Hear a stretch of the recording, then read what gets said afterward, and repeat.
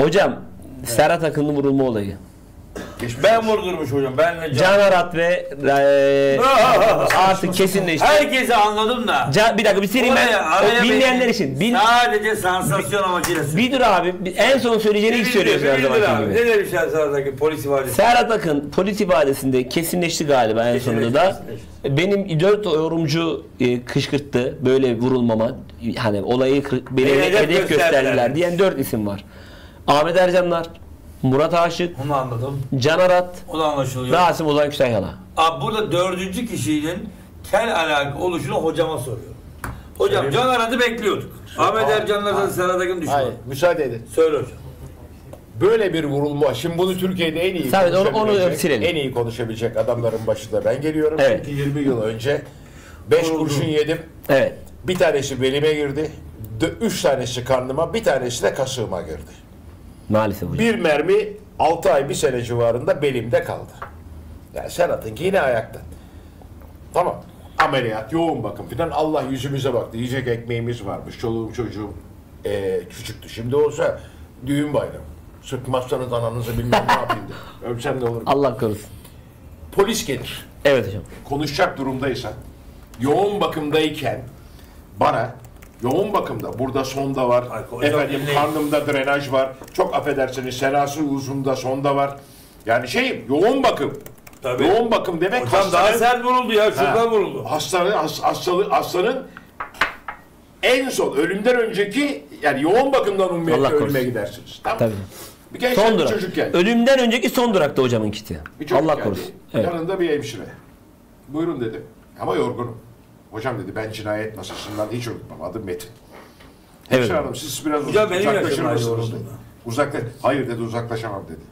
Yoğun bakımda polisse sorgu yapsa hemşire bulunmak zorunluluğu var. Evet. Kim yaptı hocam dedi. Üç isim verdim. Kimler hocam? Söyle hocam var 20 sene geçti. Alişen, Haluk Ulusoy, bir de Galatasaray'ı Sahip dolduran Son. Sahip Son diye bir orta Herkes unuttu onu. Sahip son. Sahip Evet. Son. Üçünden biri de Niye hocam dedi. İşte bununla bunu yaşadım, bununla bunu yaşadım, bununla bunu yaşadım. Ee, Peki dedi hemen sordu. Hocam dedi bir alacak verecek işiniz var mı? Yok dedim. Kimseden ne borcum var ne harcım var. Peki hocam dedi. Yasak aşk birinin karısı hani azılı birinin sevgilisi Eski yani eş. ince ince ince yani kadın kız işi. Yok dedim biz dedim kardeşim rahip izi zaten dedi. Tamam abi zaten biliyoruz dedi. O çıktı yarım saat sonra şey geldi. Organize suçlar müdürü geldi. O da Cerrah benzeri sorular geldi, Cerrah sordu. Polis şunu sorar. Tehdit aldın mı? Tehdit aldın mı? Bana da sordular. Hayır almadım.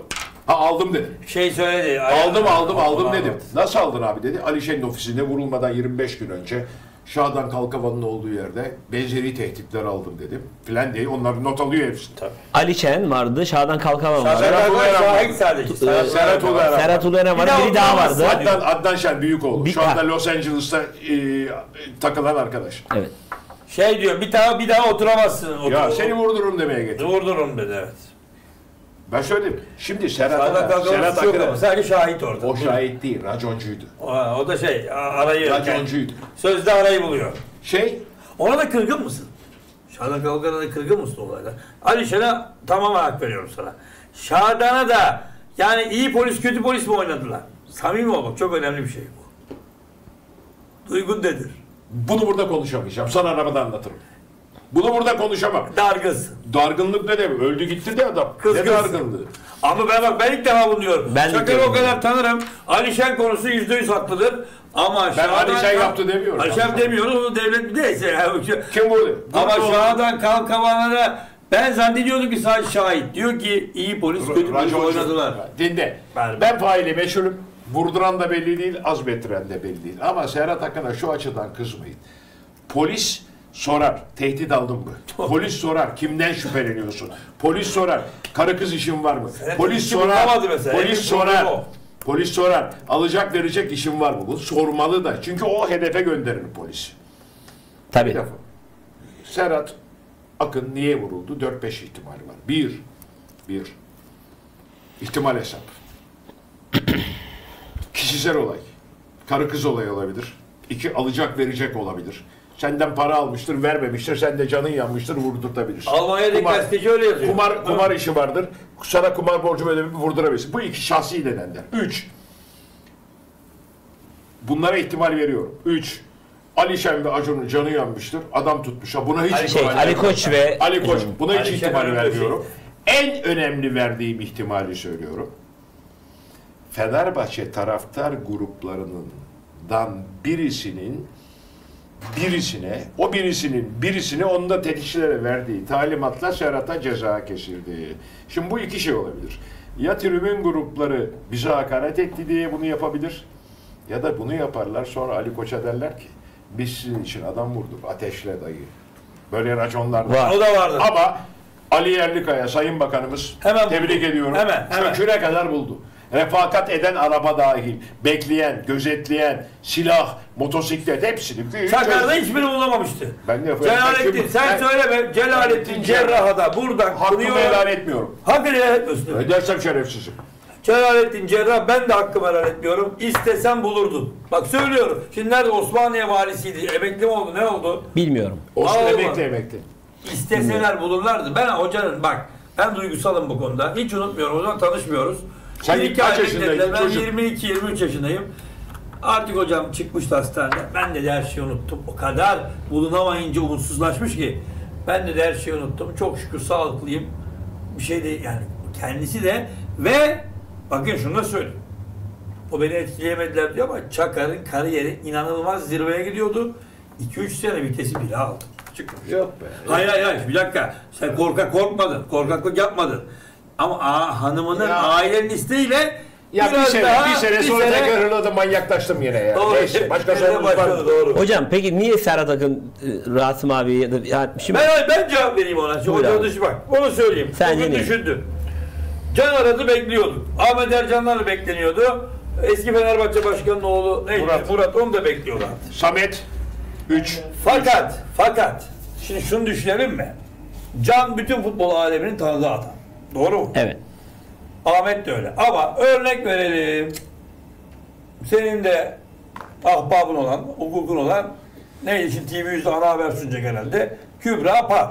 Ya da Ece Üner. Heh, evet. Bunlar futbol alemini bilmez. Mesela Can'ı da bilmiyor olabilir.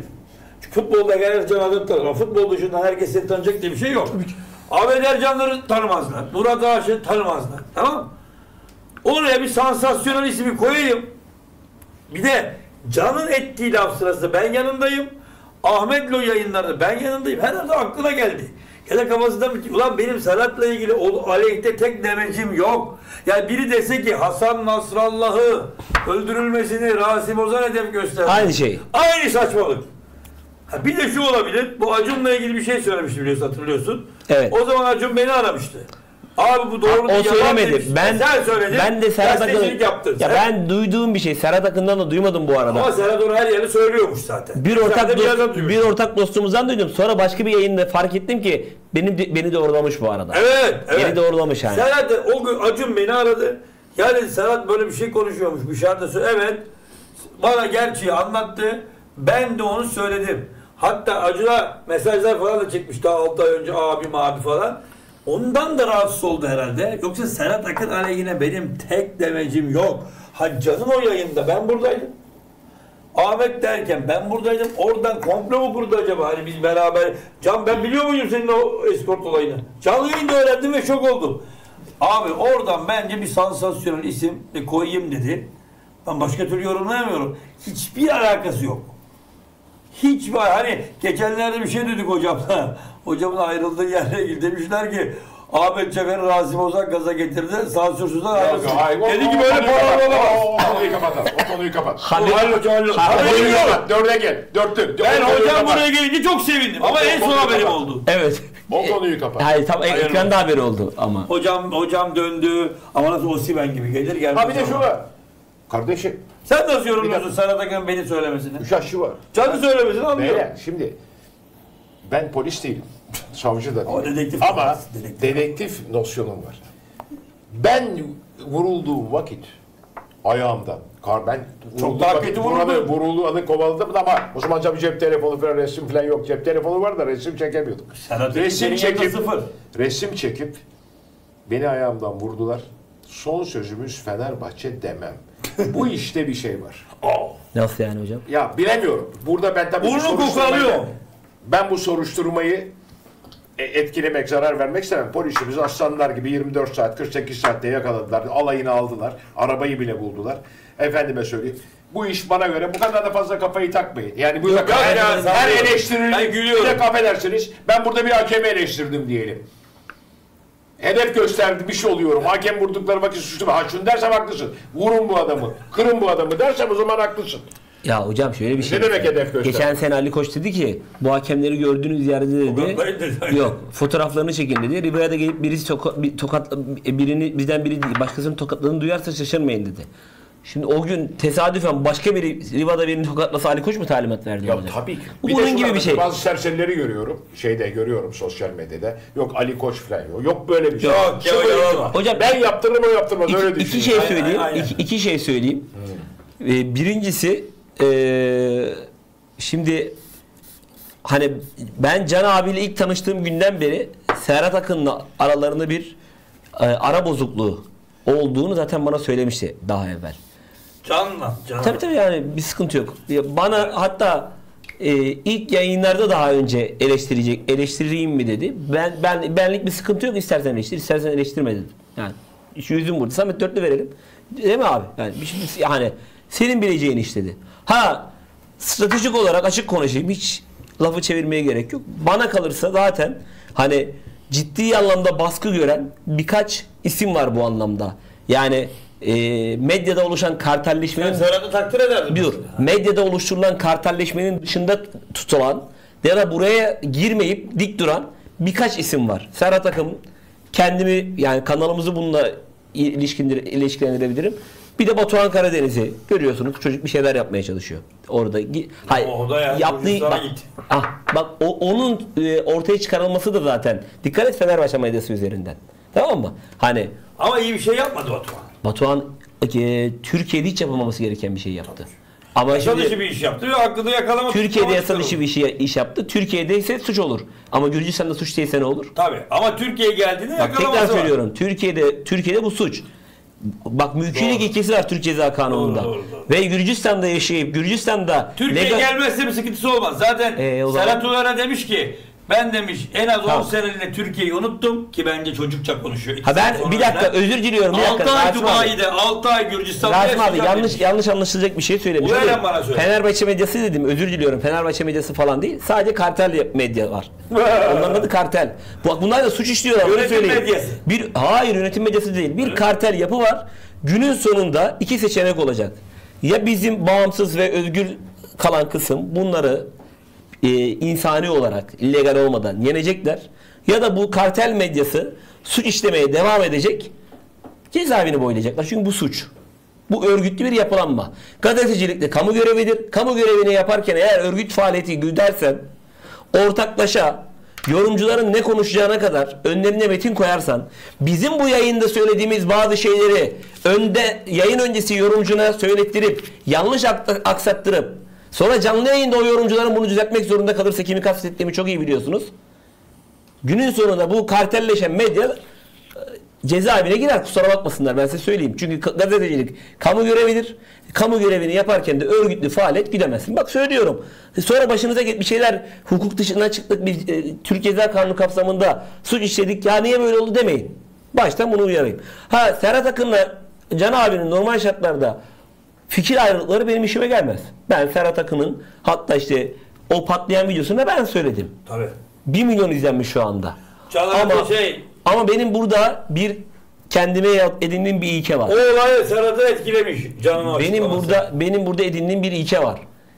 Abicim kim ne konuşuyorsa kendiyle alakalı. Ben e, Acun Ilıcalı'nın bize yaptığı tavrı da doğru bulmuyorum. Ama Rasim abi benim haberimi yalanlamak pahasına gidip Acun Ilıcalı'nın basın sözcülüğünü yapıyor. Yüzde yüz söylüyorum burada. Ya beni aradı, ben bence gereksiz Öyle bir hareket. Bak mesela be- bence gereksiz bir hareket. Ama bir şey aradı. demiyorum. Ama habercilikli bak. Şu, abi Acun şu an beni aradı. bunu Acun bak bunu Acun bilerek yapıyor. söylediğinde- Bak, ben çok açık Bak ya, söylüyorum. bir yandan da bak, Acun'un saygı duyuyor senin yaptığın bak, haberciliğe. hayır bak Acun'un yaptığı ne biliyor musun ben sana söyleyeyim. Ama Erdem de mesela Bak, Erdem'den bilgi aldık Dur söyledik. abi Master Chef var ya şimdi Ha. Master Chef. Bana yaptığı şey şu. Bir hafta kala Somer Şef'le Mehmet Şef'i al.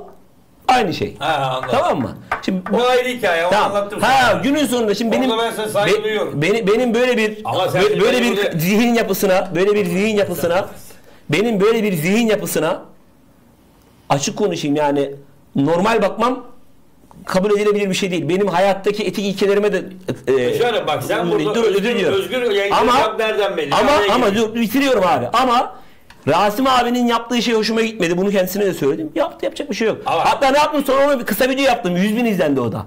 Senin o haberciliğini de video olarak koydum. Tabii canım, tabii. Can abi Ben şey yapmadım ben. Bak böyle. Can abi Can abi de Serhat Akın'ı sevmeyebilir, Şu an Ben eleştirebilir. senin o anlattığın ki doğruymuş Serhat'ın söylediklerini do- aktardın. Evet. Ben kendim seni yalanlamak için uğraşsam dediğin doğru. Ama ben oturuyorum. Bana telefon geliyor. Ya bu bilgi doğru değil. Ben doğrusunu anlatayım dendiğinde onu söylemek durumundayız. Ne yaptık demin? Açık konuşalım. Erdem'le konuştuk. Bir şey söyleyeceğim. O an, Ayıp peki o- şey onun yok. muhatabı sen Er- bir dakika Erdem'le onun muhatabı sen misin ben miyim? Hayır orada ama şu var.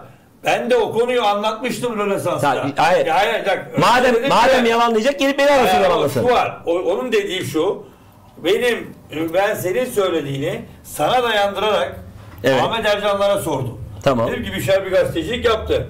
Öyle bir şey. O da o sırada o yayını seyrediyormuş. O başta onu görmemiş. O canlı yayında Rönesans'ta onu görünce pat aradı. Ben de dedim ki bunu Bişar söyledi.